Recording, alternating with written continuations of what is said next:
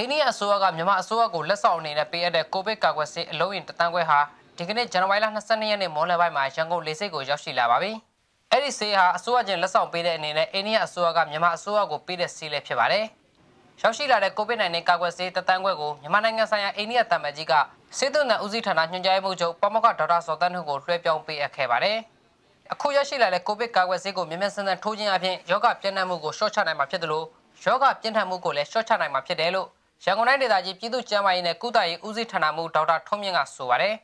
။ကာကွယ်ဆေးကဒီယောဂဖြစ်ပြီးတစ်နှစ်အတွင်းပေါ်လာတဲ့ကာကွယ်ဆေးပါပဲ။အဲ့တော့ကာကွယ်ဆေးကိုထိုးနှံခြင်းအဖြစ်တော့စစ်ဖြစ်မှာဒီခုကတော့ယောဂကုသမှုကိုတော့ရှော့ချနိုင်ပါသေးတာပါ။နောက်တစ်ခုကတော့ယောဂပြင်းထန်မှုကိုလည်းပဲရှော့ချပါမယ်။ဒါဟုတော့ကျွန်တော်တို့အနေနဲ့ဟိုအသေးချာဒီလိုလူတို့ကိုလည်းပြင်ပြနိုင်ပါတယ်။သို့တော်လည်းပဲဒီကာကွယ်ဆေး ထိုးပြီးတဲ့ကာလပထမတစ်ချိန်နဲ့ဒုတိယတစ်ချိန်ကြားထဲမှာလည်းပဲကျွန်တော်တို့ကဒီဥစ္စာပေါ့ကာကွယ်ရေးနီလာနေထိုးပြီးလိုက်တာပါဒါဒုတိယချိန်ထိုးပြီးရင်လည်းပဲဒုတိယချိန်ဆိုတာပထမအချိန်ရဲ့28ရက်မြောက်မှာတစ်ခါထိုးပါပြီးတော့ second dose ထိုးပြီးတဲ့အခါမှာလည်းနှစ်ပတ်လောက်ကြာတဲ့အခါကျမှကျွန်တော်တို့ကဒီဥစ္စာ antibody ထွက်ဖို့ကအားရတက်လာတက်လာမှဒီကာလမှာလည်းကျွန်တော်တို့ကပို့ပြီးတော့ဆေးအနိတိအပြေဝရအောင် ဒီကပူပြီး view site ဘာဘူးလည်းပဲလိုပါတယ်ကာကွယ်ဆေးရရှိလာတဲ့ဆိုပြီးပြည်သူတွေအနေနဲ့ပို့ပို့ဆဆမနေဖို့နိုင်ငံတော်တိုင်ပင်ခံပုဂ္ဂိုလ်ဒေါအောင်ဆန်းစုကြည်ကလည်းဇန်နဝါရီလ22ရက်နေ့ညပိုင်းမှာပြည်သူလူထုကိုပြောဆိုတဲ့မေခွန်းထဲမှာထည့်သွင်းပြောဆိုခဲ့ပါတယ်။ဒါ့အပြင်ကာကွယ်ဆေးရရှိလာတဲ့အခါအစိုးရရန်ရပုံမှန်အတိုင်းလက်ပတ်နိုင်မှုအတွက်ရေးကြီးနေရတဲ့ကိုဦးစားပေးပြီးစီစဉ်တွေကိုချမှတ်ကကာကွယ်ဆေးထိုးပေးတော့ဖို့ရှိတယ်လို့ဒေါ်ဆန်းစုကြည်ကဆက်လက်ပြောဆိုခဲ့ပါတယ်။အခုကာကွယ်ဆေးရောက်တော့မယ်ပေါ့နော်ဆိုပြီးတော့ဟို မပေါ်ပါနဲ့လို့ပေါ်ပေါ်ဆက်ဆက်မနေပါနဲ့လို့တော့ကျွန်မတိုက်တွန်းပြစီဒါတိတ်ပြီးတော့အရေးကြီးပါတယ်စောစောကျွန်မပြောတဲ့အတိုင်းပဲနှစ်ခါနှစ်ကြိမ်ထိုးမှ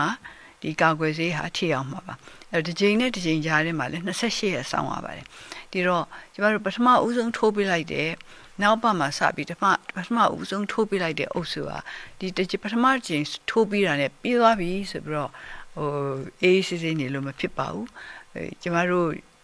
ကျမအားကစားဝန်ကြီးဌာနကနေပြီးတော့တတ်မှတ်ထားတဲ့စီမစီကနေအတိုင်းဆက်ပြီးတော့ဟိုကာကွယ်ကိုကိုမိမိကိုကိုမိမိကာကွယ်သွားမှာဖြစ်ပါပါအမြန်ဖုန်းတိုက်ရမယ်လက်ဆေးရမယ်အဲလူစုလူဝေးကြတဲ့မှာမသွားရဘူးအဲခက်ခွာခွာနေရမယ်စသဖြင့်ပေါ့နော်ဒီအခြေခံစီမင်းစည်းကမ်းတွေကိုဆက်ပြီးတော့ကျမတို့လမ်းညသွားဖို့လိုပါတယ်လက်ရှိမှာအိန္ဒိယအစိုးရကမြန်မာအစိုးရကိုလှူဒန်းတဲ့ကာကွယ်ဆေးတသန်းခွဲအပြင်အိန္ဒိယနိုင်ငံကကိုဗစ်ရှိဆေးထုတ်လုပ်တဲ့ Serum Institute of India နဲ့ချိတ်ဆက်ပြီး လူဦးရေ15တန်းစာထိုးဖို့ကာကွယ်ဆေးအလုံးရေတန်း30အတွက်အမေရိကန်ဒေါ်လာတန်150ဘုတ်ကိုမြန်မာအစိုးရကဝယ်ယူထားပါတယ်။မြန်မာအစိုးရဘက်ကဝယ်ယူထားတဲ့ဆေးတွေကတော့မြန်မာနိုင်ငံကိုလာမယ့်ဖေဖော်ဝါရီအတွင်းမှာရောက်လာဖို့ခန့်မှန်းထားတယ်လို့သမ္မတရုံးပြောရေးဆိုခွင့်ရှိသူဦးစောဒိတ်ကပြောဆိုထားတာလည်းရှိနေပါတယ်။အာသာနဲ့ကျန်းမာရေးဝန်ကြီးဌာနရဲ့ထုတ်ပြန်ချက်အရဇန်နဝါရီလ22ရက်နေ့ထိမြန်မာနိုင်ငံမှာ COVID-19 အတည်ပြုလူနာစုစုပေါင်း336,000ကျော်ရှိပြီးသေဆုံးသူဦးရေဟာ3000ကျော်ရှိနေပါတယ်ခင်ဗျာ။